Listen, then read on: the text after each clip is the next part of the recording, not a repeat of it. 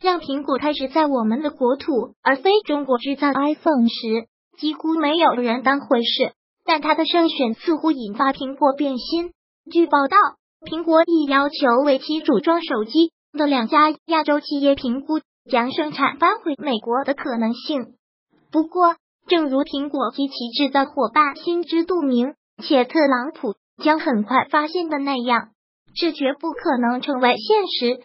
苹果的最初供给链包括一个美国车库，但亚洲迅速成为该公司增长的核心区域。自苹果一九八一年在新加坡设厂以来的几十年间，中国以大规模效仿新加坡的做法，发展出拥有世界级基础设施的产业群。到二零零四年时，苹果已关停在美国的最后生产线，中国成为其全球帝国的工业中心。虽然较低劳动成本和低限度的监管是中国吸引力的一部分。但最重要的是其庞大且熟练的劳动力。据报道，为了秋季上市前扩大 iPhone 六 S 的产量，苹果的承包商曾于去年夏天招工十万。无论总统如何期盼，美国都不可能上演类似的壮观场面。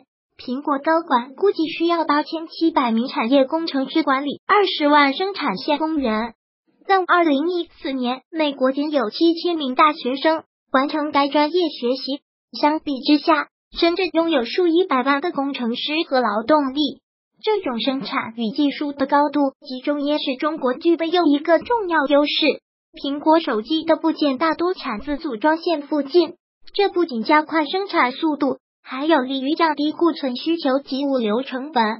这是历经几十年才发展而成的工业生态体系，不可能被搬到美国。美国人也不应该期望这么做。该生态体系已使苹果成为世界上利润最高的企业之一，支撑着二百万个美国国内就业岗位，并使美国人能以相对承受得起的价格买到不可思议的电子产品。此外，这还有助于一个庞大且热爱技术的亚洲中产阶层的崛起，从而为美国商品和服务带来大量顾客。倘若苹果被迫将生产线迁回美国，所有这些都将消失。其实，所谓美国造苹果手机，只是空洞的竞选承诺而已。最好是这样。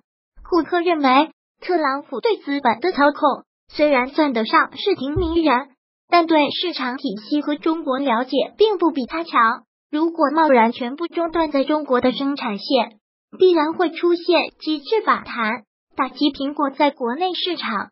要知道，中国的市场份额占据苹果全球的市场份额并不少。如果是花大量的资本再次在美国市场，不但人工成本高，设备、仪器灯也是大量上升。